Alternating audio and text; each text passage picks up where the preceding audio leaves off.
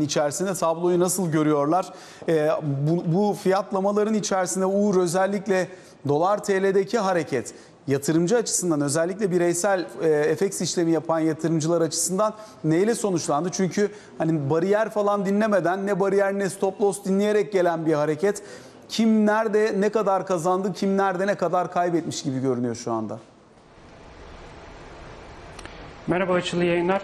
Tabii son dönemde gerek Fed gerek Trump politikalarına ilişkin beklentilerin fiyatlanmasıyla TL dahil e, gelişen ülke varlıklarında bir satış baskısı söz konusuydu ama burada ABD ile ilişkilerin gerilmesi ve bu gerilimden sonra ilk fiyatlamanın Asya seansına denk gelmesi çok sert bir harekete yol açtı. Burada e, likiditenin çok düşük olması, e, ilgili bankalar arası döviz piyasasındaki derinliğin son derece düşük olması çok etkili. Aslında e, 3.55'i kırdıktan sonra 2 ya da 3 ay içinde gelmesini bekleyeceğiniz seviyeleri bir gecede gördü.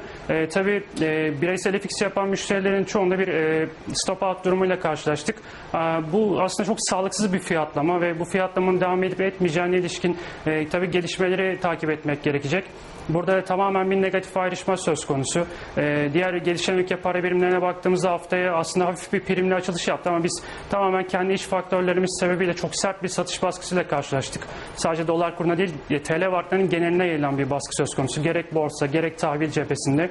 Ee, dolayısıyla burada hem Türkiye hem ABD tarafından gelecek yeni açıklamaları takip etmek gerekecek.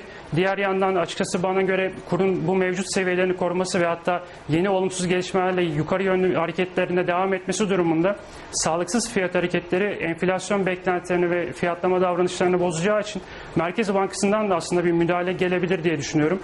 Dolayısıyla bu gelişmeleri çok yakından takip etmek gerekiyor ama şu an hala trend yukarı özellikle 3.70 altında bir kalıcılık sağlanmazsa trend hala yukarı ve bu konuda da yatırımcıların tedbirli olması gerekiyor Aşıl. Uğur çok teşekkür ediyoruz sana aktardığın yorumlar için. Norsiyem'den aldığımız yorumlarla birlikte bu bölümü kapatıyoruz. Kısa bir araya